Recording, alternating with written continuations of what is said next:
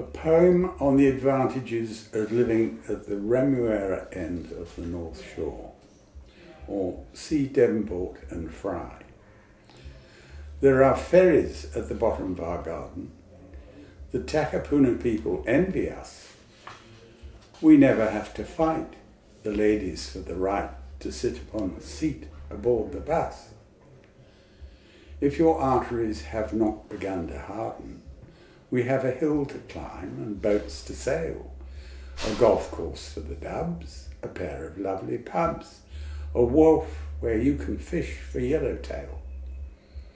Oh, I nearly overlooked, I beg your pardon, our naval base that's operated by the Kiwi and the POM, a target for the bomb. Now, wouldn't that be a nicer way to die?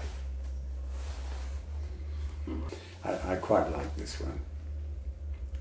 Country pleasures. Quote from Marcus Aurelius A good eye must be good to see whatsoever is to be seen, and not green things only. Landscape with Figures, Memories of England, 1930.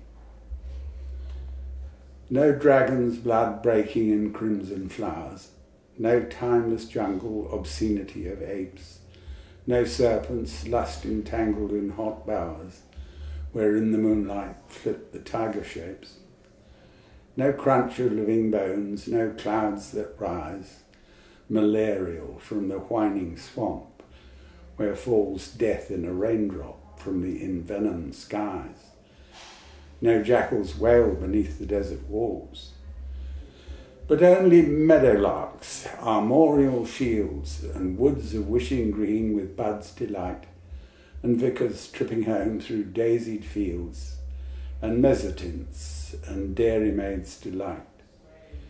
Behold the springtime and the freshening east, now fabulous in leaves, the adder dwells to bite the hand, sole spice to all this feast of harmless primrose, heaven coloured bells.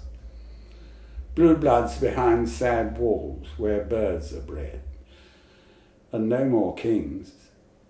By dim baronial scenes along arterial roads runs common red and pulses down green lanes in limousines.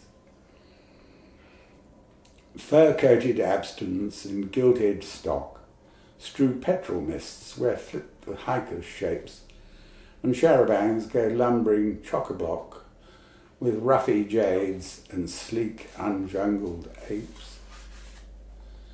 No panther lust nor hunger for the hot flesh mars England's rectories. Here matrons coy and dutiful divines their souls refresh with love in Jaeger's simple beefsteak joy. From this cold earth, crusaders leapt in fire to barbarous lands and roving knights in ships in death's despite set forth to swage desire with Christ a lovely flame upon their lips. In mortgaged precincts epicene Sir Giles, cold remnant of a fiery race, consorts with pale fox-hunting Jews with glossy smiles and plays at Walton Heath and drives the sports.